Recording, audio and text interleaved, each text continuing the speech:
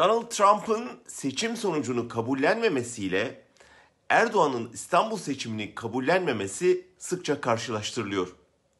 Benzerlikler var gerçekten de.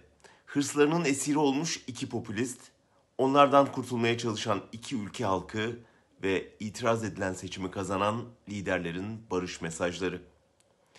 Ancak benzerlikler orada bitiyor. Ne Washington'da bu saçmalığa prim veren iktidara bağlı bir seçim kurulu çıktı ne de İstanbul'da iradesine el konanlar meclisi bastı. İstanbullular uygarca yeniden sandığa gittiler. Daha büyük bir katılım ve daha çok oyla iktidara bir şamar daha attılar. Peki 6 Ocak'tan biz ne öğrendik? Birincisi, iktidar değişikliği için pek akla gelmeyen bir alternatifi fark ettik.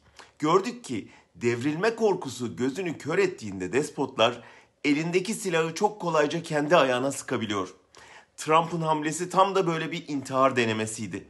Sonunda sadece Beyaz Sarayı değil, Kongreyi ve Senatoyu da kaybetti. Muhtemelen şimdi onu ağır bir yargılama bekliyor. İkinci ders. Despot koltuğu terk etmemek için vandallarını sokağa sürüp ülkeyi yakmaya karar verdiğinde en yakınındaki isim bile bu kadar çılgınlığa ben yokum diyebiliyor. 3. Bu sağduyulu seslerin katılmasıyla hem de geceden sabahına demokrasiyi korumak için geniş bir ittifak kurulabiliyor. 4.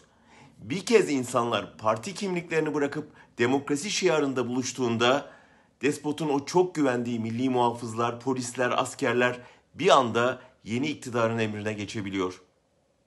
Şu son birkaç günde Boğaziçi Üniversitesi'nde protesto yapan gençler üzerinden bize verilmeye çalışılan o mesaj var ya hani ses çıkaranın evini orduyla basarız, başına yıkarız mesajı ya da toplumsal olaylara müdahalede polise ordunun tankını, topunu, füzesini kullanma izni verilmesi gibisinden güç gösterileri hepsi boşuna.